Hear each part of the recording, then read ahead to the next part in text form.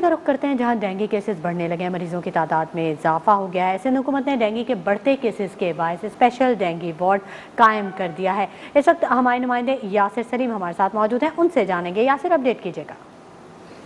आज बिल्कुल कराची में डेंगू के केसेस में मुसलसल इजाफा होता जा रहा है और इसकी क्या एहतियात करनी चाहिए? क्योंकि ये बीमारी जो है वो मौसम में बरसात के मौसम के बाद जो है वो कराची में मुसलसल फैल रही है। तिब्बी माहरीन कहते हैं कि एहतियात एहतियात की जाए, जो इसका वाद इलाज है और जो है वो मच्छर मार स्प्रे किया जाए। इस वक्त हम मौजूद हैं नीपा के एक सरकारी अस्पताल में, जहाँ पर डेंगी वार्ड में हमारे साथ डॉक्टर निदा मौजूद हैं। उनसे जानते हैं कि वो क्या एहतियाती तदबीर हमें बताती हैं। जी, डॉक्टर निदा, कितने पेशेंट्स हैं और क्या आप कहेंगी इस हवाले से? जी अभी फ़िलहाल तो हमारे पास सात पेशेंट्स हैं डेंगू के, लेकिन ये केसेस बढ़ते जा रहे हैं और पेशेंट का नंबर भी हमारे पास बढ़ता जा रहा है रोज़ रोज़ तो बेसिकली ये वायरस जो है वो मच्छरों से क्योंकि फैलता है तो यहाँ पर हमें बेसिक जो एहतियाती तदाबीर है वो मच्छरों से ही करनी पड़ती है। तो उसके लिए ये है कि आप तो सबसे पहले कोशिश करें कि मगरब के वक्त और फजर के बाद जो ये टाइम मच्छरों का सबसे ज़्यादा निकलने का होता है, उस वक्त आप थोड़ा कम बाहर निकलें।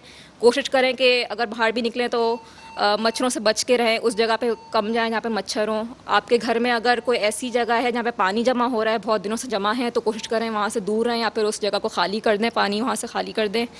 और फुल आस्तीन के कपड़े पहने। कोशिश करें कवर्ड रहें ताकि मच्छर आपको कम काट सकें। ये भी। हमारे साथ डॉक्टर निदा मौजूद थी जो कि नीपा इंस्टीट्यूट का जो डेंगी वार्ड है उसके अंदर काम कर रही हैं और उनका यही कहना है कि ज़्यादा से ज़्यादा एहतियात की जाए। मगरब के वक्त अगर बाहर निकलें या फजर के वक्त अगर बाहर निकला जाए नमाज़ के लिए किसी और काम के लिए तो अपने आप को कवर किया जाए। ठीक है बहुत शुक्रिया यासिर सलीम तमाम से तफसीत से आगाह करने के